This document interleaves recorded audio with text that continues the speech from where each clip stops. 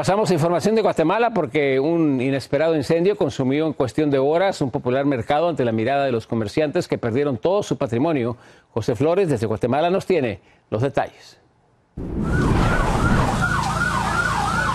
Un mercado municipal se quemó por completo y cientos de pequeños comerciantes perdieron todo su patrimonio en medio de un momento dramático que vivieron los vendedores en el puerto de San José, Escuintla.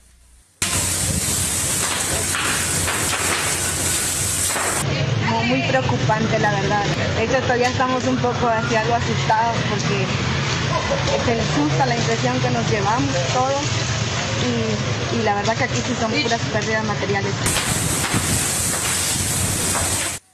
El incendio se generó en horas de la madrugada y las llamas se propagaron de forma rápida e increíble, por lo que el esfuerzo de los comerciantes para controlar las llamas fue insuficiente.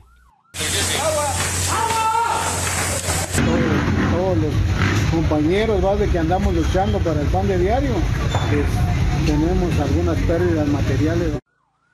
Cuando los bomberos e integrantes del ejército llegaron a cubrir la emergencia, encontraron el incendio totalmente descontrolado, por lo que no pudieron salvar la mercadería que los vendedores tenían en sus humildes puestos de venta.